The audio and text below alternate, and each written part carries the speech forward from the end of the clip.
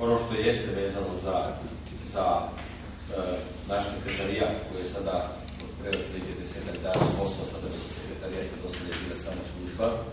Znači, posebno smo izdvojili e, tako da kažem, u našu porezku administraciju sekretarijatu, podigli je i. E, Gospođa Punović je sekretar sekretarijata.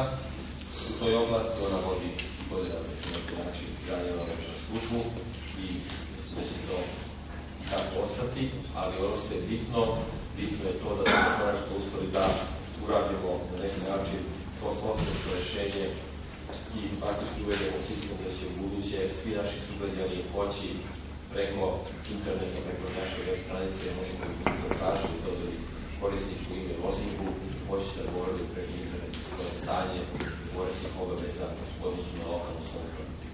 Nekoliko lokalnih samouprava već ima taj sistem uveden, ali ja mislim da je to jedan ozbiljan napredak što se tiče Subotice, jer će na ovaj način biti za njih mnogo dostupnije, neće morati na neki način provati stavno glasno kući da provjeravaju svoje stanje i polako popis kako što bude vreme opisan, ja sam nadam da će sve veći i veći broj naših sugrađana koristiti ovu mogućnost da taj način imaju izmjera informacije o stanju svojih poreskih obaveza.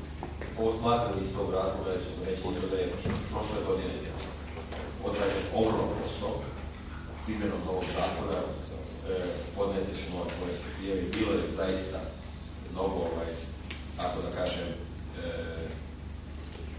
nelagodnosti za naše sugrađane, s druge strane i možda i na neki način ljudnije za naših sugrađana što moraju taj ponovo podnositi poreske prijeve, i to je bila neka naša zakonska obaveza koje smo mi morali sprovesti, zakon je bio pitanju, je odrađen je ogroman posao 75.000 poreskih prijava je prošle godine preuzeto od strane naših sugrađana i obrađeno u toku 2014. godine delo što da se građe prešli u toku 2015. nismo stigli svi, ali jedan ogroman posao urađen. Imamo jedno sada jedno zaista ovaj, impozantnu bazu podataka vezano za poreske obveznike i sada nastavljamo da je taj posao vezano za ažuriranje podataka i sve koji nisu podnali poreske prijave još imaju tu mogućnost. Ja ispred lokalne samouprave ne bih želeo da se lokalna samouprava koristi to mogućnost da kažnjamo ljude sa više desetine hiljada kazne koji nisu podnali poreske prijave, ostavi se još vremena da svi ovi koji nisu podnali eventualno to urade. S druge strane, uporedno poreska uprava ažurira podatke i uključitamo podatke iz katastra i, i na taj način zadužujemo osnovu katastarskih podataka i ove poreske obveznike koji nisu podnali prijave, gde smo došli do relevantnih podataka vezano za njihovu imovinu. Znači svako ko želi da ovaj, e, koristi tu web aplikaciju mora prvo da a, otvori zahtev za otvaranje korisničkog naloga. Kad se taj zahtev otvori elektronskim putem isključivo, a, posle toga treba da se dođe u, u, su, u gradsku upravu, Trg Slobode 1, znači na prvi sprat u sobu 141 od 10 do 12 časova, da se dobije korisničko ime i lozinka. Kad se sve to uradi, onda se može pristupiti toj web aplikaciji i videti se poreske prijave koje su podnete i na osnovu kojih je utvrđen porez na imovinu, znači tu se već može i ostale ovaj, lokalni izvorni prihodi, ne samo porez na imovinu, tu se može videti ako je možda neka greška ili nešto, sve se kako je podneta, tako će u obliku videti poresku prijavu, vidjet će rešenje kojim je utvrđen porez ili ostali izvorni prihodi koje sekretarija lokalne poreske administracije Subotice evidentira i moći će da vide svoja stanja i uplate. Na taj dan, kada se uđe, stanje će biti na taj dan i e, mogu se videti uplate koje su izvršene u toj godini. E, korisničko ime e, se dobija, kako sam rekla, ovde u gradskoj upravi, lozinka, takođe i lozinka može da se promeni. Lozinku, lozinka se daje automatski, ali može da se promeni. Bitno je da se lozinka ne zaboravi ili da ovaj, se ne izgubi, onda se mora ponovo doći ovde da bi se promenila. A inače, može sam obveznik da menja svoju lozinku kako hoće i koliko puta hoće.